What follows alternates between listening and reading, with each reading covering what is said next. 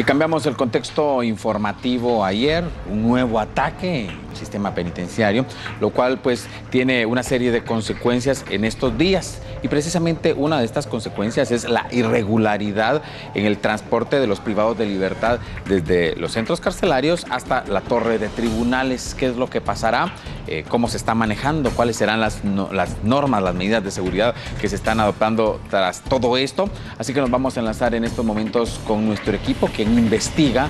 Ahí está la periodista Vivian Vázquez con nosotros dándonos los detalles. Vivian, muy buenos días. Adelante.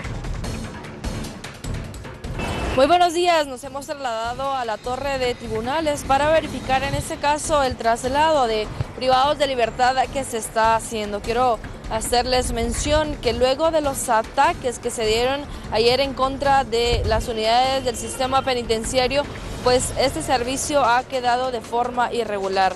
Hace algunos instantes nos hemos comunicado con Rudy Esquivel, quien es el portavoz del sistema penitenciario y nos ha manifestado que las autoridades han emitido la alerta para que este servicio se haga con casos, en este caso que sí deban venir hacia la torre de tribunales, de lo contrario pues ningún privado de libertad estaría saliendo de las diferentes cárceles del país para llegar a las audiencias de torre de tribunales, esto para evitar nuevos ataques. Él hace mención que desde el año pasado pues se ha reforzado la seguridad tomando en cuenta pues todas las situaciones que se han vivido con las pandillas, en este caso del barrio 18. Recordemos que son pues varias amenazas las que este grupo de personas pues ha enviado tanto al sistema penitenciario como a otras instituciones de gobierno a raíz de todas las requisas que se han efectuado precisamente en el sector 11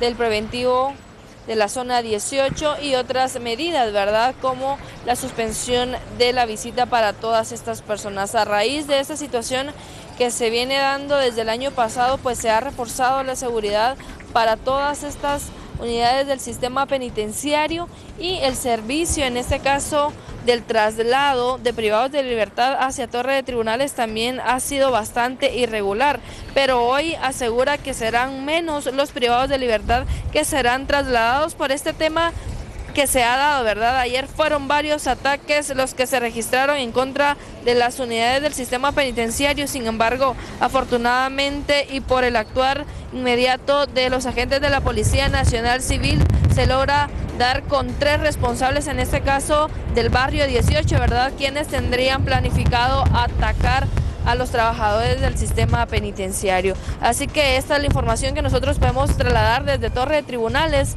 En tiempo que nosotros hemos transmitido esto en vivo, pues no hemos visto ninguna unidad del sistema penitenciario que venga con privados de libertad, ¿verdad? A raíz de lo que les explicaba, ¿verdad? que no se está brindando este servicio. Yo con este reporte regreso a los estudios principales.